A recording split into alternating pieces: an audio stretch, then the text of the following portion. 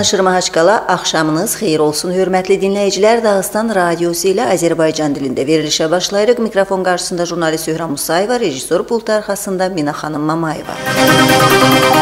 Milli Antiterror Komitəsindən verilən məlumata əsasən Mahaçqalada və İzbirbaşda xüsusi əməliyyat gedişində 6 yaraqlı ləğv edilib. Onların arasında dəstə başçısının da olduğu barədə məlumat verilir. Onların bir çox cinayətlərdə əli olduğu bildirilir. Əməliyyat gedişində hüquq mühafizə orqanları əməkdaşları və dinc əhali arasında zərər çəkənlər qeydə alınmayıb.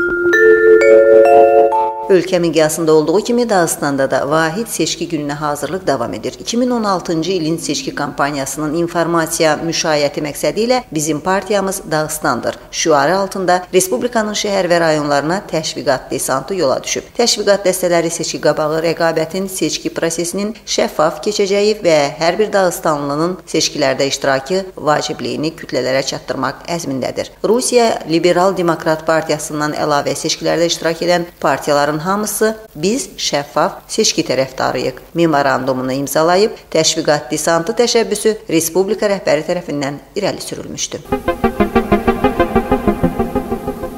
Dağıstanda ənənəvi Ağ Durnalar Bayramı baş alır. Festivala toplaşanlar artıq Rəsul Həmzəyatov və Patimat Həmzəyatova adına muzeylərə baş çəkib, tədbir çərçivəsində dəyirmi masalar, təntənəli poeziya axşamları, sərgilər keçəcək. İştirakçılar şairin vətəni Hunzaq rayonunun Sada kəndinə qonaq olacaq. Poeziya teatrında şeir müsabiqəsi keçəcək. Bayram tədbirləri respublikanın rayonlarında da davamını tapacaq. Ağ Durnaların təsisçisi kimi Rəsul Həmzəyatov özü çıxış etmişdi. O bu bayramı mənəviyyat, şeiriyyət və bütün bütün müharibələrdə həlak olanların müqəddəs xatirəsini qovuşduran bayram kimi vurğulayır və onu çox millətli Rusiya xalqlarının çox əsirli mədəniyyət və dostluq ənənələrini daha da möhkəmləndirən vasitə adlandırırdı.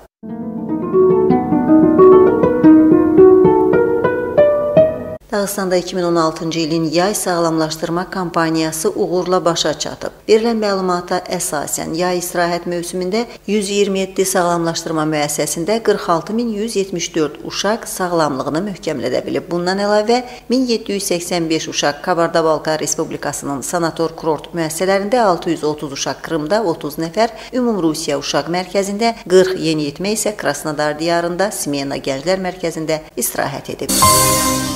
Gələn həftə Dağıstanlılar daha 2 gün əlavə olaraq istirahət edəcək. Respublika hökumətinin sərəncamına əsasən sentyabr ayının 12-si və 15-i istirahət günü elan olunur. Xatırladaq ki, ayın 12-sində müsəlman aləmində müqəddəs Qurban Bayramı qeyd olunur. Sentyabrın 15-i isə Dağıstan xalqlarının vəhdət günüdür. Beləliklə, gələn həftə yalnız 3 gün, çərşənbə axşamı, çərşənbə və cümə günləri iş günləridir. Respublikanın Kənd Təsərrüfatı Nazirliyindən verilən məlumata əsasən cari məhsul mövsümündə kənd zəhmətkeşləri 780 min ton tərəvəz toplayıb. Cari ildə kənd təsərrüfatı məhsulları istehsalçıları bol məhsul əldə edir. Nazirliyin mütəxəssisləri qeyd edir ki, yüksək məhsuldarlıq böhran və xarici məhsulların yerli istehsalla əvəz edilməsi dövründə meyvə tərəvəzə qiymətlərin olduğu kimi saxlanmasına və istehlakçıların yerli məhsulla təmininə imkan yaradır. Siz xəbərlər buraxılışını dinlədiniz.